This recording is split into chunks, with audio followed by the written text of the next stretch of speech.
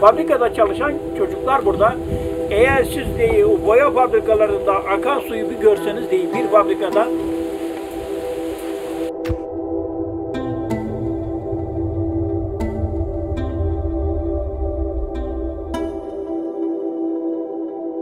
çok ciddi gıda zinciri içerisinde gelişecek bir endüstriyel kanser grubu riski taşıyoruz.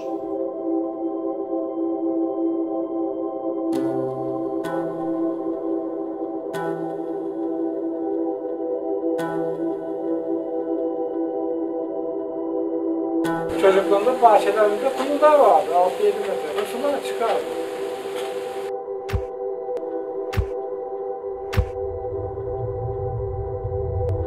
İster yaşa ister yaşama. Nasıl yaşarsan yaşa artık.